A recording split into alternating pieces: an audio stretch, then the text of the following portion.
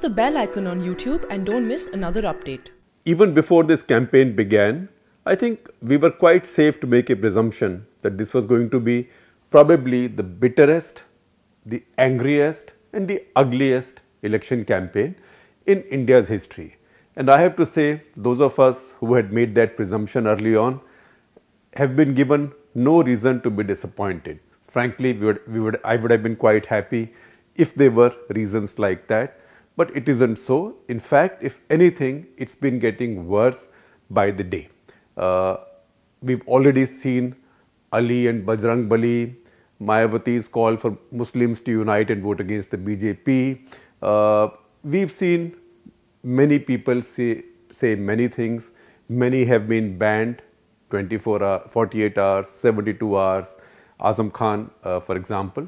Uh, so people are being banned. Election Commission is running around like a referee in a rough football match with a whistle and red cards in his back pocket.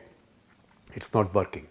But these are not substantive issues still. Gali, abuse, maybe in times of social media, people have got used to it. People have got used to throwing galis and people have got used to dealing with galis. But issues that I am going to talk about today are more substantive. So, first of all, uh, see the nasty turn that this campaign is now taking.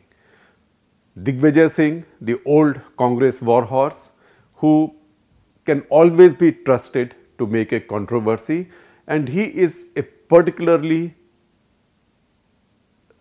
favorite figure of the die-hard BJP right-wing uh, support base.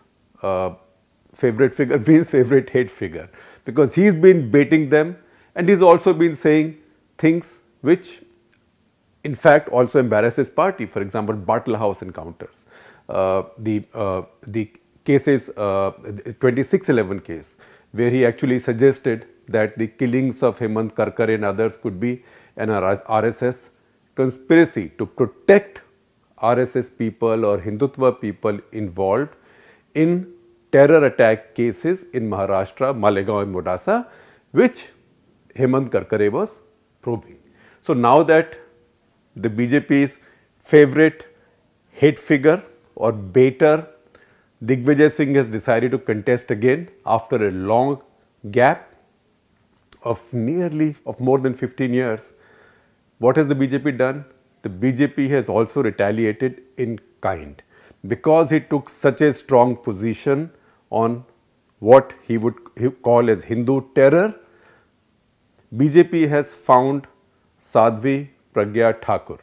Now, she was the saffron clad Sadhvi who was arrested and charged with complicity in those terror attack cases. For clarity, she was NIA in one of the supplementary charge sheets, National Investigating Agencies, Agency, which investigates terror cases all over the country, they said that they found nothing against her and recommended her discharge.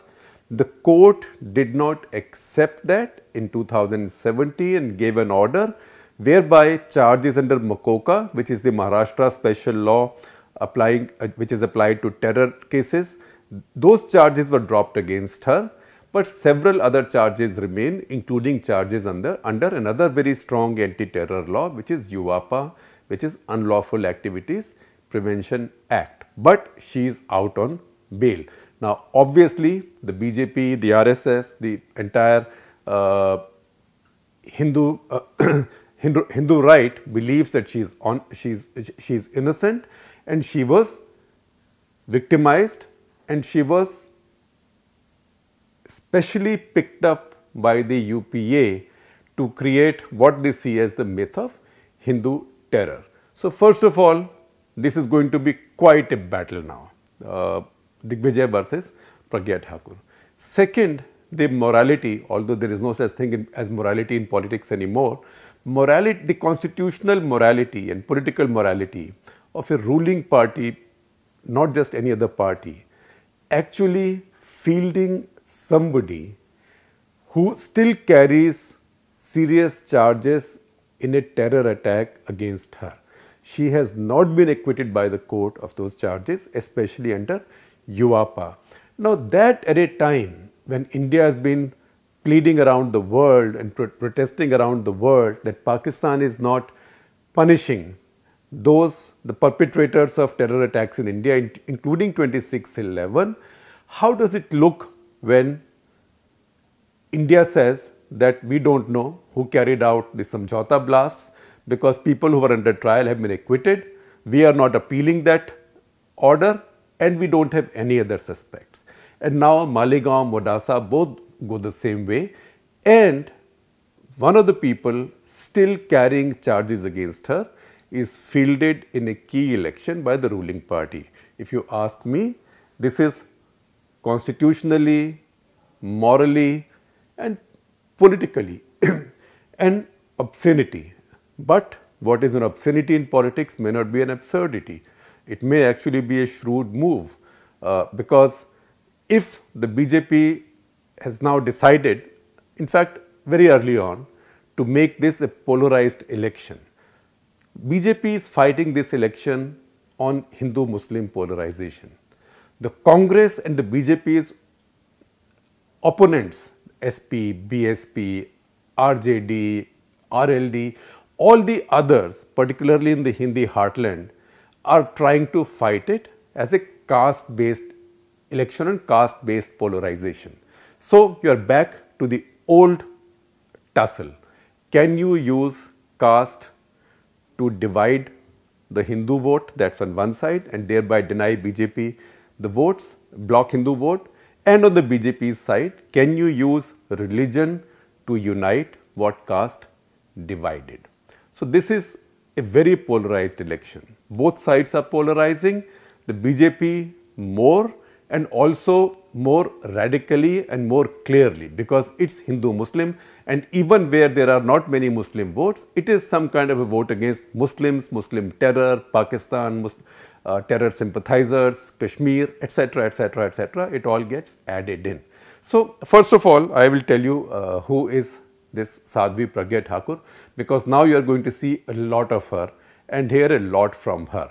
So, she's, uh, she was born in Bhind district of Madhya Pradesh uh, Bhind district is part of India's Badlands as they are called because this is the beehad of Chambal where very little grew for a long time and which had the history of uh, criminal gangs and, uh, and it had a rough lifestyle, dacoit, dacoit gangs etc. and very little development. Our father was an Ayurvedic doctor and an RSS worker. So, she got influenced like that very early on she learned story, storytelling and she learned a kind of uh, religious, religion based or scripture based campaigning and evangelism. And so she went around the countryside in that area it became quite popular. That's where she began. And then she spent nine years in jail as an under trial. It was when she was in jail that she was diagnosed to be having breast cancer uh, she underwent her treatment. She is now out on bail. In fact, if you followed the coverage of Kumbh Mela, she had set up one of the centers or akhadas or whatever it's called uh, in Kumbh and there because she was leading one of these akhadas, it was called Acharya Maha, uh, she was made the Acharya Mahamandaleshwar or the head of that akhada and she got a new name a new sort of religious spiritual name.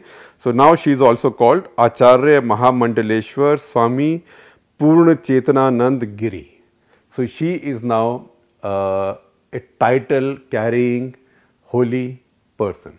So, she is going to be contesting this election and you can quite imagine what the texture of this election is going to be. So, if I was looking at all politics as fun, ultimately politics is fun for people like us, then I'd say go to Bhopal because this is going to be the most fun election.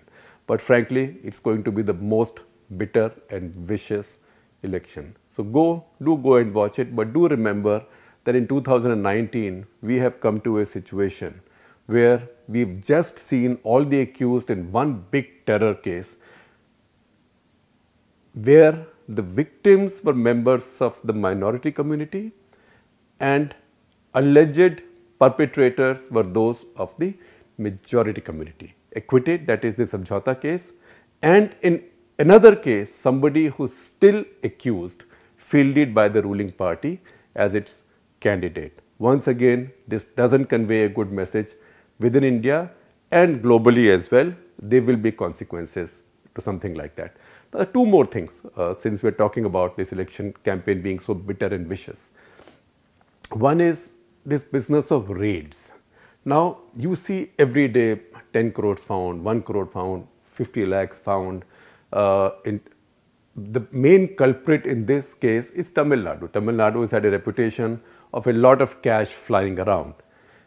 But have you noticed that in most of these cases, in fact, almost all of these cases of raids and recoveries involve politicians or parties of the opposition.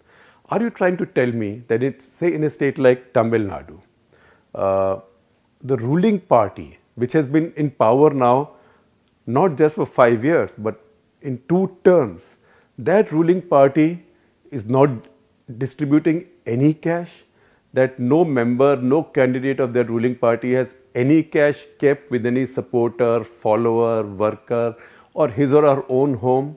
And how does it look when the income tax department raids a candidate's home, it's a well known candidate's home, Kanimozhi's home, just before the polling in a sensational sort of raid where everybody covers the raid, people land up hoping to see something and hit thin air. They find nothing in the raid and then come back and say, we got wrong tip off. Now think about it.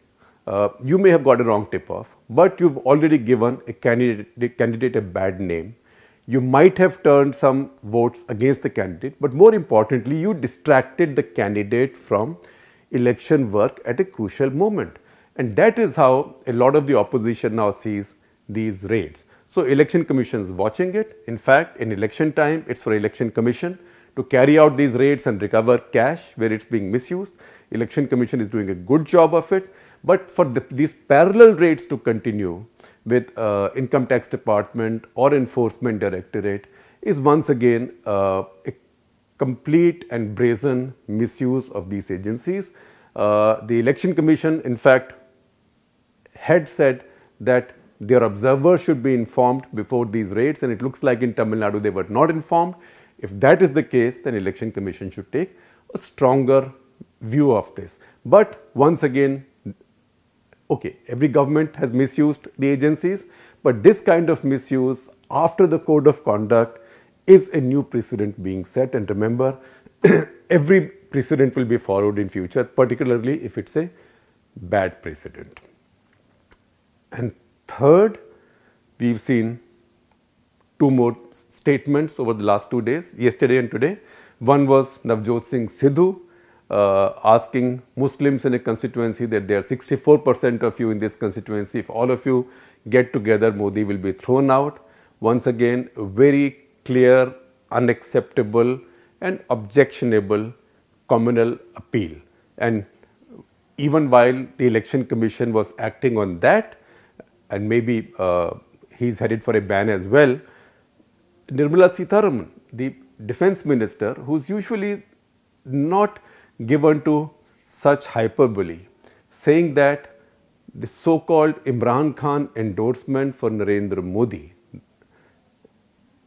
which might have, we thought might have embarrassed India and might have embarrassed Narendra Modi also, and should have drawn a sharp criticism from government of India at that very point, at that very point of time, as an interference in India's affairs that this was somehow done to embarrass Mr. Modi at the behest of the Congress party. That leaders of the Congress party have been going to Pakistan to seek Pakistan's help in defeating Narendra Modi.